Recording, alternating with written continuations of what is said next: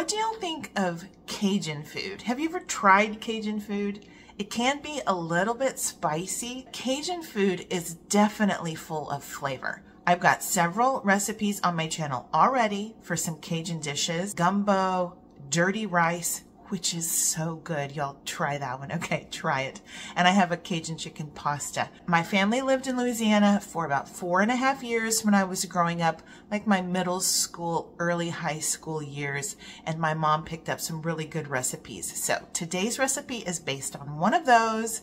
It is called Easy, no, it is called what's it called? It's called spicy. Uh, it's called spicy chicken Creole. And don't worry about the word spicy. It doesn't have to be too spicy. You can go up or down on the spice level with the amount of Cajun seasoning you put in this dish. Today's recipe is another meal in a jar recipe. It's a just add water recipe.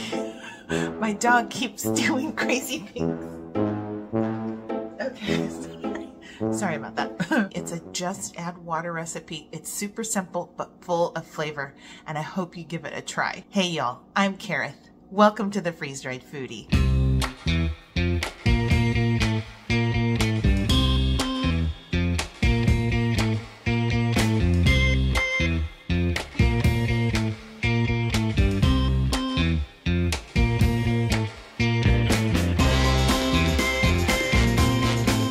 My family lived in Louisiana, my mom got several recipes for some regional favorites from her friends at church and at school.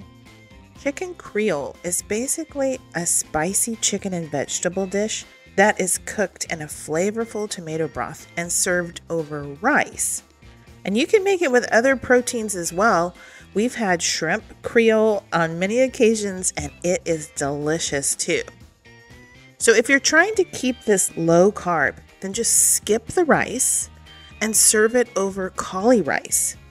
The dish itself is naturally low carb, but it is full of flavor.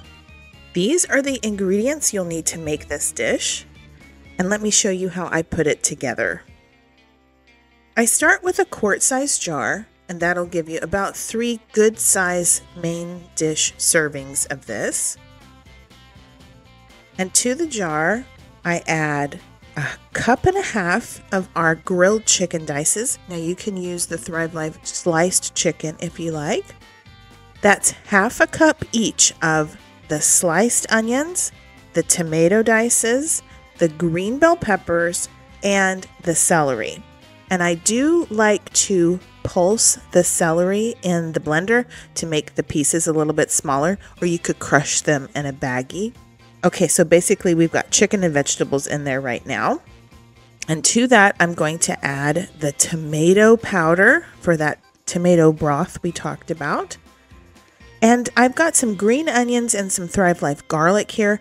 If you don't have the Thrive Life green onions, you could either leave them out or try to substitute some of the Lighthouse brand chives.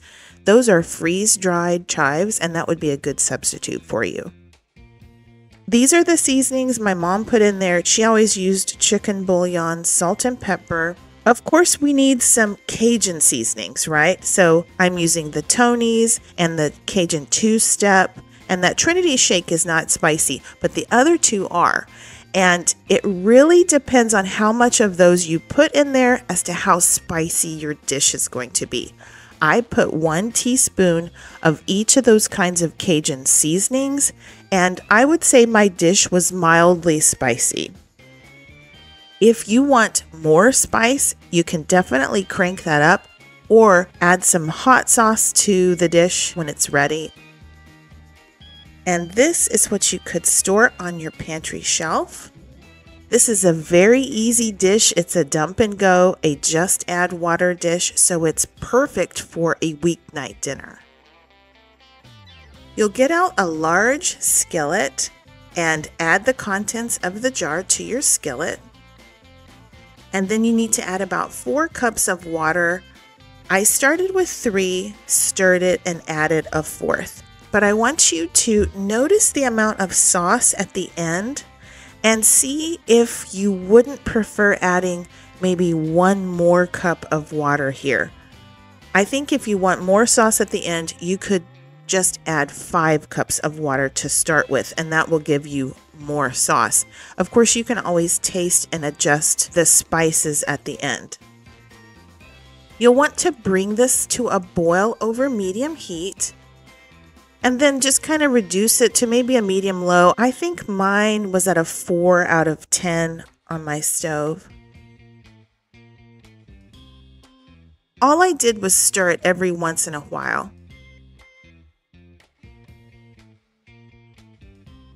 And see how dark your sauce gets? And it really does reduce and thicken. So this is the amount of sauce you'll have if you start with four cups of water. So if you want more sauce to your chicken creole, then start with five cups.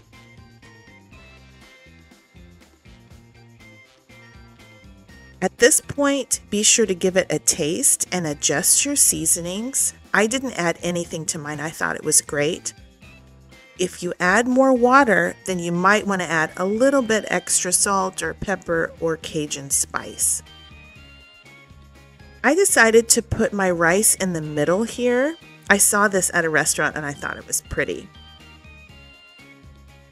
You'll be able to make probably about three of this size servings. So isn't that lovely? Look at those chunks of chicken.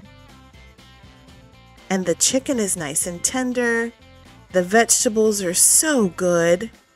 You could make this and see if you don't want to add a little bit more vegetables to your jar, whatever you could fit in there. I think it is so tasty. The spice from the Cajun seasoning is really yummy. And the Holy Trinity in Louisiana cooking, it's the onion, celery, and green bell pepper. I love those flavors in there, and those are usually the base of all Cajun dishes, really.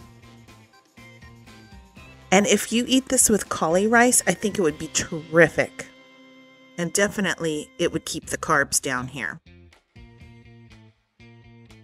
Y'all, that was such a yummy bite. It's really a good dish. And yeah, it's a bit spicy, and I loved it. Okay, guys, thank y'all so much for watching. I'll include the full recipe as well as my shopping link in the description box below. And if you find value in my content, if you are enjoying my videos, I really appreciate it if you would give me a thumbs up and subscribe to my channel. And thank you so much for leaving comments. I mean, even if it's just a smiley face, that helps my channel. So thank y'all very much. All right, well, I hope y'all have a blessed day. And until next time, y'all take care and keep thriving.